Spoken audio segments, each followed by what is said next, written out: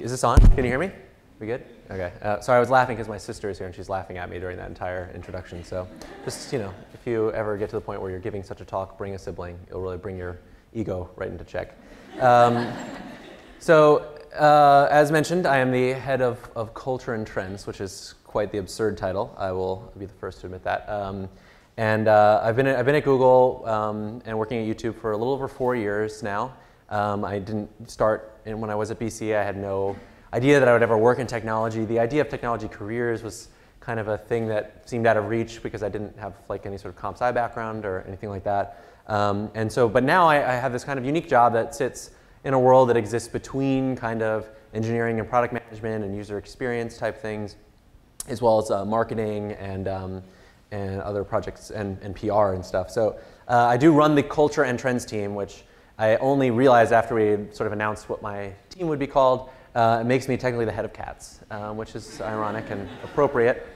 Um, and, uh, but I actually, uh, as mentioned, I sort of I really focus on how people browse and think about what's popular on YouTube. That's sort of the main um, thing that I work on. And you have to remember, YouTube is, is pretty massive, and I think that's not a surprise to anybody. But you know, it's like the third most popular website in the world, and the second, you know, second largest search engine in the world. These are these are huge things. Um, there's well over 100 hours of video that get uploaded every minute to this, this platform, a billion, over a billion unique visitors every month coming through. Um, and 80% of all that stuff is outside the United States. It's not, uh, it's not mostly happening in the US anymore. It's coming from all over the world. So we think about things in a very global way. Uh, we also have the largest social media following of any brand in the world. Um, all of our social media accounts for YouTube have, have huge, huge followings from people everywhere. Um, so, and it's, it's not just a big community, it's very, very active, as you can imagine, um, of all the people who are big fans of YouTube and who engage with us regularly. Um, so we do a lot of different work. I'm going to talk through some of the projects that we work on just you have a sense for uh, what I do and the kind of things I work on. Then I'm going to talk a little bit about how I ended up at Google, and then I'll, I'll finish off with some sort of general things I think I learned through that process and, um, and how, you know, I wanna, how I came from Boston College all the way through to, to ending up at Google and then we'll do some Q&A stuff uh, afterwards. So um, let's, uh, first of all, like amongst the things that we work on, I run the, we, we run the official YouTube channel. We do a lot of different work around figuring out what videos we share and why, and, and a lot of our community projects, we work on Rewind. I don't know if anybody's ever seen Rewind, which is kind of the whole end of the year thing. Uh, this is a clip from last year's Rewind.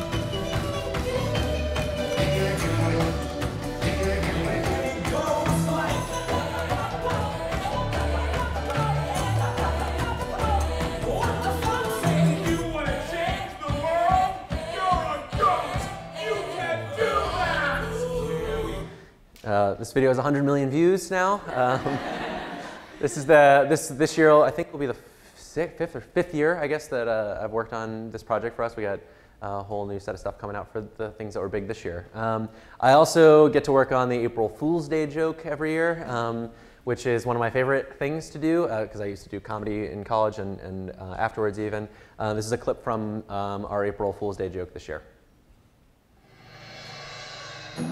Gangnam Style, Trampoline Fails, Rebecca Black. Inventing, producing, and spreading every single viral video that has ever been popular on the web. It's what we do here.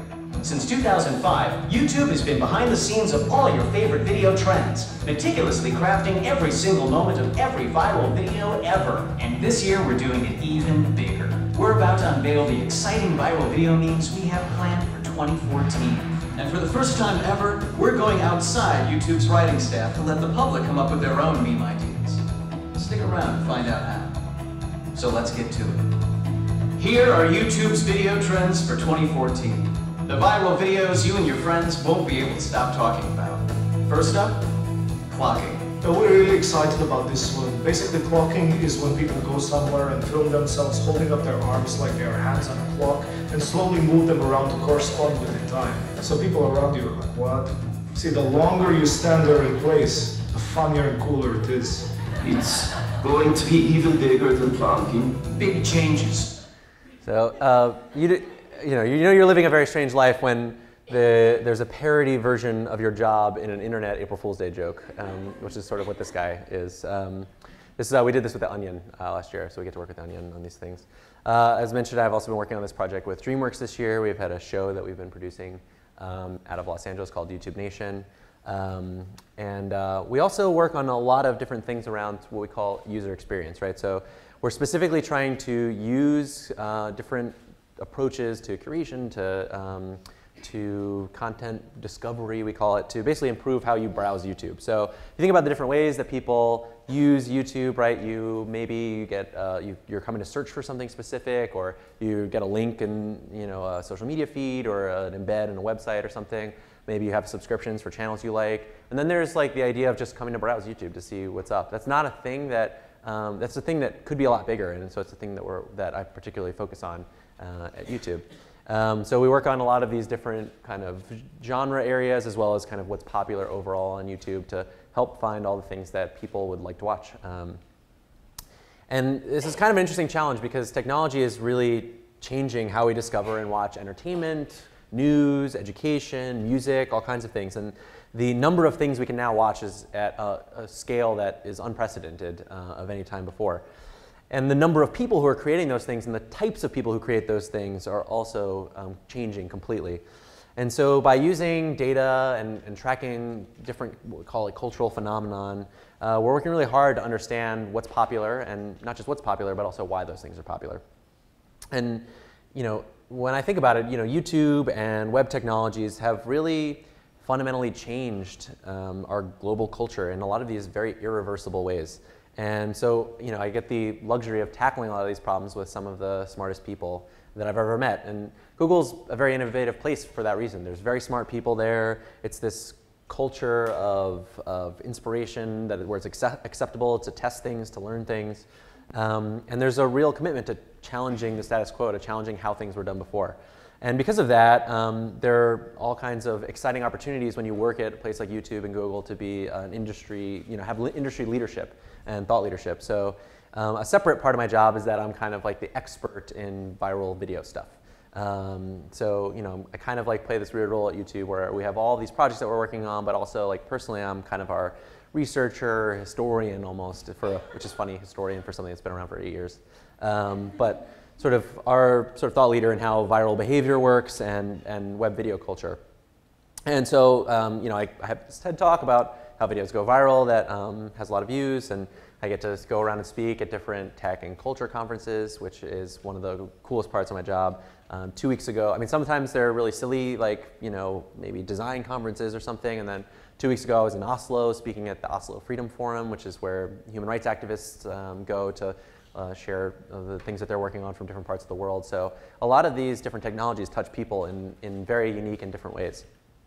Um, I'm also uh, like person who goes on TV to explain why the Harlem Shake is popular um, and various things. Uh, this is the part of my job that my mom really loves. Um, so uh, you know, I've done kind of all the morning shows and stuff. I've also get to travel to a lot of different countries. This is from when I was giving a talk in Tel Aviv. Um, and it's interesting because you know, YouTube is truly not uh, a US thing, it's, it's a global thing. Uh, I was in, I mentioned I was in Norway last week talking to people about how the biggest video of the year last year was the, um, was the Fox, which was a Norwegian video actually.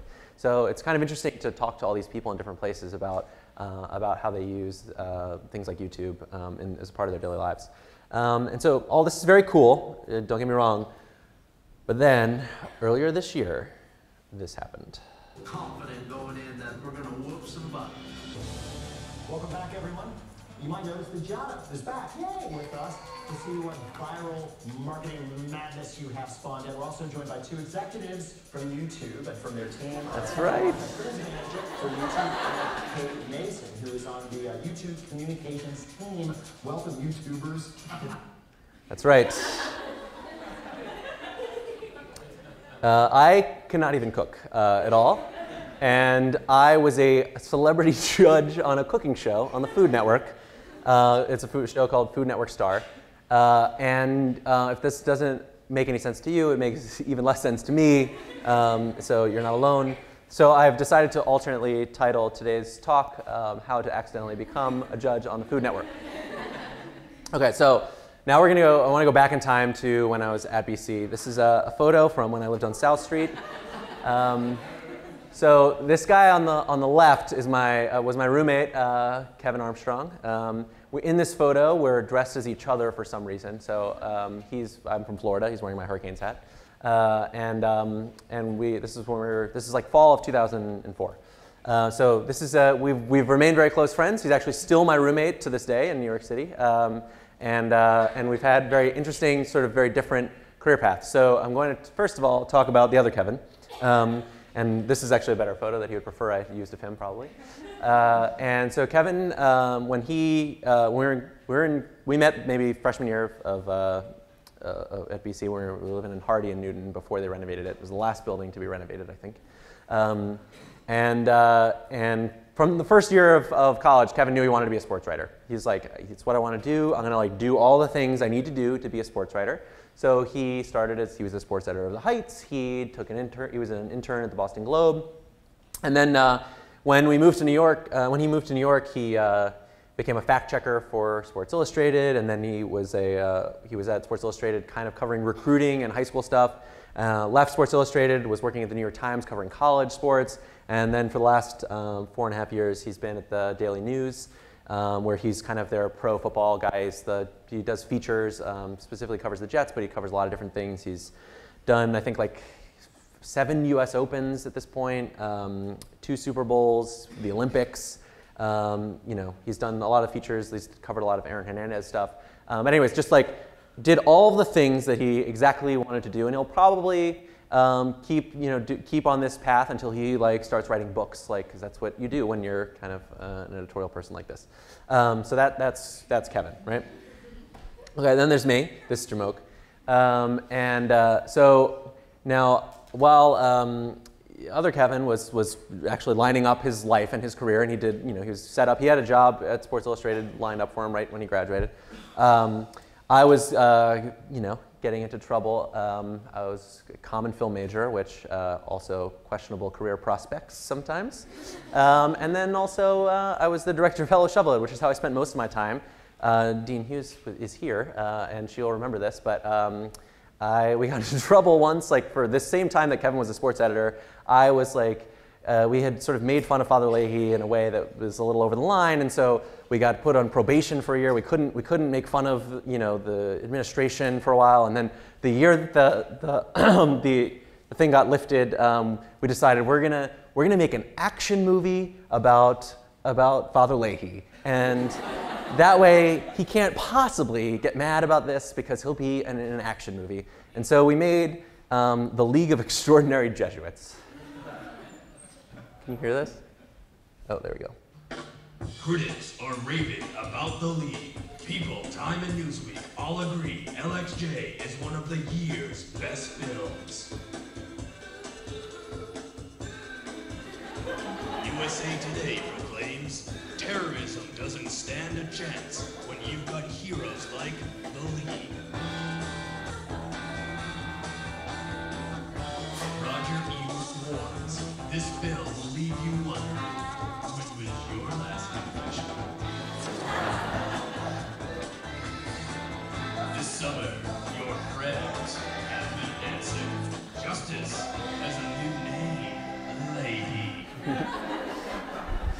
So uh, this is what I was doing. Um, and I, I, just so you have some hope, uh, despite this sort of idiocy of what we were doing, uh, everyone here has, uh, has found successful careers. Uh, specifically, that nun uh, over there is my good friend Molly McAleer, who is um, she co-founded Hello Giggles and is one of the writers on Two Broke Girls. Um, so everybody kind of worked out, I guess. But anyways. Um, back to this. So, uh, in addition to these things, I was also the humor columnist of The Heights. Uh, I did uh, an internship with uh, the Miss Florida USA pageant. Um, I had a, there was a greeting card company called Blue Mountain Arts. I did an internship with them for a summer. Uh, I was doing documentary film stuff.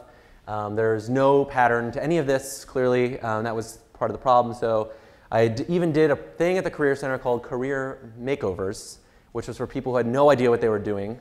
Um, and that's, that's how, I, how I met Janet and um, how I ended up, uh, you know, sort of getting one of the internships that I had and, and sort of trying to figure out what I was going to do. So, I, anyways, I, I, through all this, I said, you know what? I, I really want to do comedy. Like, I have enough things in here. I was like loving the comedy stuff. I really wanted to be a comedy writer, and that's what I wanted to do. So I was like, I'm going to move to LA. That's what you got to do when you want to be a comedy writer. I'm going to move to LA, try to get a job as a comedy writer. So that's why I ended up in New York. Um, because I could not even follow the one plan that I had, which was to go to LA. Um, and actually, this is not entirely true. I actually uh, did a pit stop for five months in Hollywood, Florida, at my parents' house, um, where I uh, drove my mother crazy uh, until she was like, "You need to go somewhere." So uh, I moved to uh, I moved to New York, and I had I had about five months of rent saved up that I could cover. I was like, I can get through about, which is not which is saying a lot because New York rent is expensive. Um, and so it was Kevin and then our other friend from Shovelhead, George. We moved in this apartment in New York, and I had five months. And I had to, I, once I hit five months, it was going to get hairy. I couldn't necessarily cover my rent. I was going to have to maybe like try to borrow money from my parents or something, and and you know I didn't want to end up having to do that. So I spent uh, I, I, did I did some freelance stuff, and I spent hours search scouring for jobs. Like every website that had jobs, I was scouring it, trying to find people who would meet with me. I once responded to a job listing called Batman seeking Robin. Like it was like every kind of random thing possible. Um, I was shooting some B-roll, and then I would just, this is a, an excerpt of one day from my Gmail inbox that I went and found, um, of one day's worth of emails that I was just like sending out. Like it was, I mean, it was like every night I would get frantic and I'd be like, okay, you can see like assistant, associate producer, you know, all this stuff um, that I was applying to. And then there's this one here, which ended up being the one that what ended up being my first job. It was an internship that I had applied for. Now, I had been applying for jobs through Craigslist, which is, seems quite inadvisable uh, right now. Um, because you think of Craigslist, you think of like job listings like this, um, which I thought was pretty good. Um, or this is, this is actually, this is my favorite, when I was researching, this is my favorite one that I found.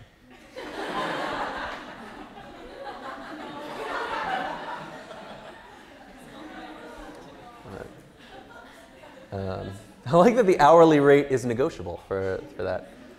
Um, you know, but actually there, there was this, uh, I found a job that wasn't totally bizarre. Uh, there was a, uh, a website that was starting up, um, and well, there's a, a, sort of somewhat established website that was launching a new startup within it. That website was, the larger website was the Huffington Post, and the uh, website they were launching was called 236. It was going to be this uh, political satire website, um, and it, this is what it looked like. It was called 23.6. The tagline was "Some of the news, most of the time," um, and it was amazing. Like it was, it was so cool. I started as an, a paid intern, and then ended up becoming like an editorial assistant and working my way up to associate editor. The like all the writers on there were from Letterman, from The Daily Show. It was, it was like it was my dream essentially. Um, and uh, you know we would uh, go in every day, like pitch jokes about the news, write things. I was the uh, editor of a Wikipedia parody website that was called Dickopedia, um, where you'd write articles about how people were, uh, were dicks, essentially. Um, and, um, and then, uh, you know, I also used to produce videos and do Photoshop and like basically any possible thing that they wanted. Um, we, we created the, I created this series called In a Minute, um, which was where we take these news clips and mash them up um, together. So uh, I'm going to tell one specific story of this. Uh, so one afternoon, it was September in 2008, and uh, the stock market was just in this total downward spiral, and like all the news networks were freaking out. The government was announcing all these the, the bailout, and, and CNN had an anchor named Rick Sanchez at the desk, um, and he had a very memorable day. I remember watching him sort of cover this like incredible news, and um, so we turn this into what you know now I, now the term supercut is thrown like is kind of what it's called like when you mash up found footage clips but we were one of the first people to ever really do that with especially with new stuff um, and uh, and basically invented that uh, here is that clip I'm Rick Sanchez. The market is tanking. Financial crisis. I'm looking over and oh boy, oh boy, we're having a, oh my God. Who in the hell, where in the world, where in the heck? Look at what's on me. Hola, Rick, ¿cómo está? Buenas tardes. It is terrible. That's why I'm in the control room. If we can, Michael, in the control room. I think you can go down, to our Twitter board. Let's go over to Twitter now. See if we can put the Twitter board back up. If you happen to have an internet close by, it's different, it's interactive. And I've got a lot of uh, uh, tweets as well. We're going to check on some of the tweets. Thousands, 15, 16,000, almost 15,000 people who are tweeting with us. My Twitter board's about to explode here. Right, let's go to my Facebook page. MySpace, Facebook, the Lehman fallout. Lehman story, Lehman, the next domino to fall, AIG. AIG. Who is AIG? AIG, what's this? AIG, AIG, AIG says one, two, three, raw girl. AIG, AIG. AIG. AIG, AIG, AIG. AIG. Speaking of AIG, AIG. Why is AIG so important? Right now, we're looking at the Dow, little square there, right? Oops, wait, right there. See it? Right about there. A little while ago, I looked down, just right there where Susan Lisovicz's, uh, chest area is. It's up 28, just got back to 286, and we go under 400. The market just topped 400. What, what's it at right now? Tell me ear. It's at 350 right now. Thanks, Michael. That's a problem. That might be a problem. That's not good. I've got a lot of It's a very important announcement. The Fed, really just about uh, any moment now. We're waiting, and we're going to take a quick break now. Let's try and sneak a break in here. If we're in the break, stand by. All right, here we go. We just uh, received uh, the decision to not lower interest rates. Not not, ixay, nixay, no. I don't know where to begin. What does that mean? What do you mean by that? What, what's, what's, what is going on? What's going on? What are the markets doing? What are you talking about? Whoa, whoa, whoa, whoa, whoa, whoa, whoa, whoa, Okay, I am totally confused by what you're saying. We'll be back. This was my, this was my dream job, essentially, was doing this. Um, and so, you know, I learned so much. I learned about pop culture and how inter the internet dynamics worked uh, around editorial content and editorial management um, you know i was working with these very smart people a lot of great comedians um, were there at that time who are up and coming at the moment. A lot of the guys who work on bob's burgers now that whole crew they used to work there. Um, it, was, it was great. And i uh, got promoted while i was there. It was, it was my dream job. Uh, and then about two years later we all got laid off and i was like totally crushed. Um, and I used to, like, was applying for jobs, I was doing some freelancing. I used to wander around the Met because uh, I needed something to do during the day. I would try to pick up girls in this Greek sculpture garden uh, thing. And, um, and, you know, I was collecting my, I was, we, we got severance, so it wasn't terrible, but I was, it was, I was unhappy uh, as a person. And so I was freelancing, I was scouring for jobs, and that whole economic crisis that Rick Sanchez was talking about was not good for my prospects of getting a new job. So eventually I found my way to a site called Media Bistro, um, which is a, a, really great resource if you want to work in the media industry. Um, and landed on my, my feet there. I, I, had spent so much time writing jokes about the news that I actually learned a lot about the news uh, at the time. And so they I hired me to be a beat reporter to cover the television news industry. So I would interview journalists and network executives and things. Um, I used to host an interview show called Media Beat. And, and I also, like, they let me host this Mad Men recap show that was like kind of a comedy thing they let me do. But I made a ton of connections through that job. And I did that for a year and you know, was really learning so much about how the media business worked. Um, but it, it, just, it really wasn't a great fit for me. I'm not a, a very good reporter, it turns out. Um, and I got really sick of dealing with PR people and stuff. So I just would start applying for jobs late at night to feel better about myself. And then I'd go back to work and kind of forgot that I had done that. And then, um, like one year into this job, uh, I accepted another job and everything changed. And that is uh, when I got the call that I would, was getting a job at Google. Um, and so this was about four years after I graduated. And I had started this job at this place that I had really only dreamed about. My closest connection, I was talking about this earlier, my closest connection with Google was that I had had a friend who had had lunch with someone that they were friends with at Google. That was like the closest I had been uh, to Google. And here I was starting there. And my specific job was to be an expert on YouTube. Um, and, you know, I think it was this, this bizarre thing of I'm going to get to go to I'm going to get to go to Google and, and learn about YouTube and you know we're in this, these famous Google offices with all the this is actually not a joke that's the head of PR for YouTube going down the slide in the YouTube office. Um, but I mean you know the the truth was that I had um, the, the, it's, it's this great culture there where it lets very intelligent people be able to do big things and I happen to have the only two things they two of, I happen to have two specific things they needed at that moment, which was somebody who knew a lot about how the media industry worked and somebody who knew a lot about pop culture. And so we launched this site called YouTube Trends that was designed to like sort of help people and journalists get more um, into YouTube and understand the things that were popular on the site. Um, and uh, it fit because those were two things I was also very passionate about. And, um, and, I started on the news and politics team, and it was an incredible time to be starting at YouTube because um, with, within six months of me starting, the Arab Spring began. Um, and I remember we were sitting at our desks in New York watching uh, when uh, everything started to get really hairy into Tahrir Square and everybody started uploading all their videos and we were helping the news networks find this stuff. Uh, we worked on a, uh, a, a, one of the GOP primary debates. We got to go down to, to Orlando and, and um, do the CNN or the uh, Fox News Google uh, debate. I even got to meet the president uh, as a part of it. And this is a photo of him telling us about his favorite YouTube video, which is why we're all just like, ah, so excited. Um, and uh, you know, as my role changed, I got to meet all kinds of cool people. I interviewed Dwyane Wade uh, when he came. I interviewed Taylor Swift. Uh, this is me not knowing exactly how to appropriately greet Taylor Swift on stage. um, I get to meet I got to meet a lot of like random viral internet stars, which is still some of my favorite things. This is Tron guy. This is one of my favorite people to hang out with. We've hung out a couple of times. Uh, you may know him as this guy. Oh my god, it's full on double rainbow all the way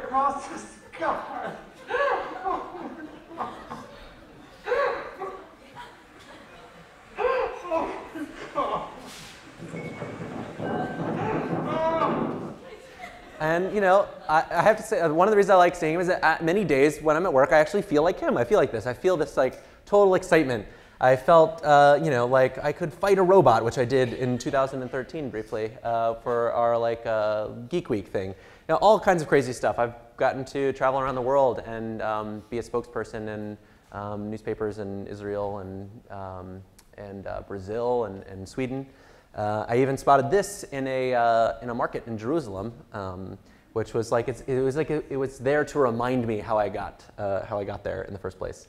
So um, I've had a lot of iterations at my job at YouTube. Uh, you know, obviously explain some of the things I'm working on now. Um, and um, you know, it's interesting because I have no technical background. I have an editorial background essentially. But most people uh, who work at YouTube think, a lot of people who, who work at YouTube actually think that I, um, I have a technical background because I understand a lot about how our technology works. And uh, I work on a lot of collaborative projects with engineers and different people in different parts of the company. Uh, other people think that I'm a creative director because of the work on things like Rewind. Um, and so even now, this far into my career, I do not consider myself a part of any specific discipline exactly. Uh, my dad uh, just tells people when they, when they ask what I do that he's, he just says, oh, he's just Kevin at, at YouTube. He's, he's, that's his job title, is he's Kevin. Um, and, uh, and also that I know Giada De Laurentiis um, from, that, um, uh, from, the, uh, from the Food Network thing. But, um, you know, I think, so if we go back to that question actually, um, I've told you like literally how I ended up uh, doing the, um, how I ended up kind of at Google and getting to be on the Food Network. but the sort of whole point of the non-traditional career path is that they're non-traditional and so they're very hard, it's very hard to replicate. You couldn't possibly do the same exact steps that I did to end up at Google. Like that's just a bizarre chain of events. Uh, and that's kind of how it works for a lot of people. So these are my five uh, important realizations, I guess. Um, and um, I, tried to, I tried to think of some, some non-cliche thoughts uh, about how I think this stuff works. So here, here we go. So the first thing is um, for, for me specifically, uh, I've always found that having a 10-year plan, which is a lot of things that especially people who work in, in the business world feel very adamant about, does not make sense. Actually, a five-year plan does not even make sense for me. Um, most of the jobs I've had didn't exist before I had them. I was the first culture and trends, you know, head of culture and trends at, at YouTube. Uh, I don't know what will happen next, but um, you know, they were the, the, none of these things existed when I was in college, uh, and I've only one time ever filled in for somebody, I've ever taken over a job from somebody else who left. Um, if this is what YouTube looked like when I graduated, um, which is kind of fun. It seems like it was like so ancient, but this is like only eight years ago. Um, and this is, uh, this is what uh, Facebook looked like. There was no newsfeed. Like newsfeed did not exist yet, um, and it was only available at certain colleges.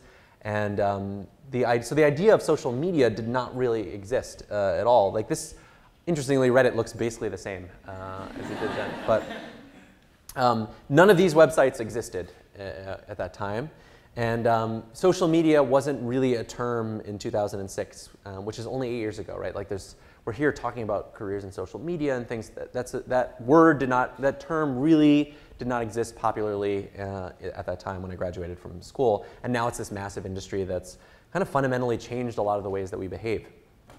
And uh, so I uh, don't think of, and I, I, have a team now that I manage, and we talk about career development even with them. And you know, I don't think about a job plan like I'm going to do this job, and then I'm going to do this job, and then I'm going to do this job. Like for other Kevin, that works out pretty great. Like it's worked out very nicely. But um, for me, that's not the thing. Like I, I actually think it's more useful to have a, like a skills plan. Think about the things you want to grow and the, and the ways that you want to enhance your, your skill set uh, and towards like larger career goals, like things you actually want to be spending your life doing. We spend so, you will spend so much time at work, right? So much of your time of your life will be spent at work. If you're not, if you don't like what you're doing or you're not passionate about what you're doing, it could be very, very difficult to be spending all that time.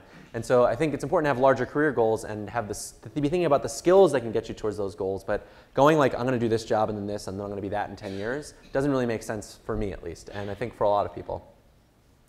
The other thing is, um, is trying to play to your strengths. A lot of people will say like you should be super well-rounded and you should like be trying out all kinds of different things and, and getting broad expertise. I think that there is some, there's definitely value to that, but I think um, developing the talents and skills of the things you're already good at is more important than trying to be good at everything. Um, and a lot of people who are, are very um, powerful executives or senior executives at different companies will actually give you this, this same advice. Um, there's a time to be broad and there's a time to build deep expertise in a professional area once you kind of uh, settle in. Um, and the professional world in general is really about making decisions, and career development is about making decisions about opportunities. Um, and for, for me, it's always been about being very, trying to be very quick and very smart about those things. Um, you have to put yourself in a position essentially to be presented with opportunities and be open to opportunities. And I think importantly, you need to give yourself runway for those opportunities to present themselves. So I mentioned I had those five months, right? I gave myself the five month runway to do it. Other people have done this completely differently, uh, where they've taken a job that was going to pay the bills while they were doing something else in their free time, or they've uh, taken a job that they um, that was somewhat related, um, that they knew would get them to a certain point, and then they would kind of move on. They'd look for that opportunity for the next thing. Um, and so, like part of that is part of that is is financial. You have to give yourself some financial runway, essentially, to be able to do the things you want to do if they're not immediately present to you. Um, so, so, part of that's like saving up and taking these odd jobs and things. And then the other part is to give yourself actual mental runway to say, okay, I'm going to give myself a chance to do this thing. I think a lot of times we bail on ideas because we don't have connections or we don't know people yet, and so we bail on those things. But you have to actually give yourself a chance to be open to those things and, and put yourself in a position to have those opportunities.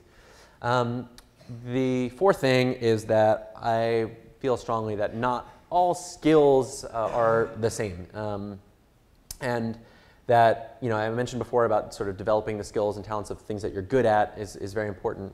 Um, but, you know, this is, a, this is a laundry list of some of the things that I need to have some basic understanding of every day. Um, I mean, it's a, it's a very broad list of things. Um, and I only took uh, these are the only ones that I had classes in in college, um, specific classes. And then the law one is highlighted, but I took one semester of law, so that's like kind of a stretch.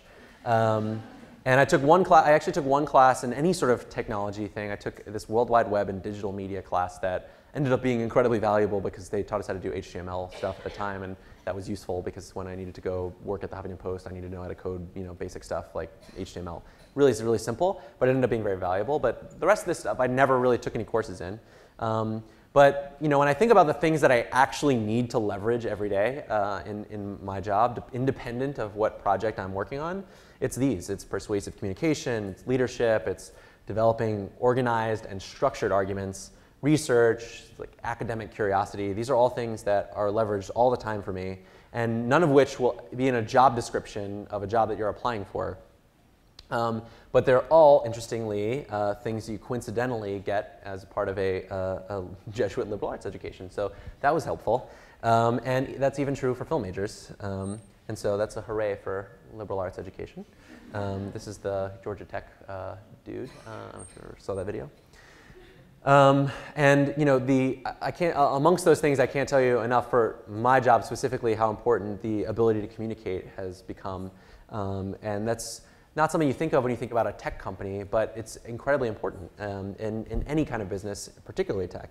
Um, and oddly, when I think back to um, some of the most valuable things I did while I was in school, being the director of a sketch comedy group like Hello Shovelhead was one of the most valuable things I ever did because you learn people management, you learn scheduling and deadlines, and also I learned like basic writing and performance and communication skills.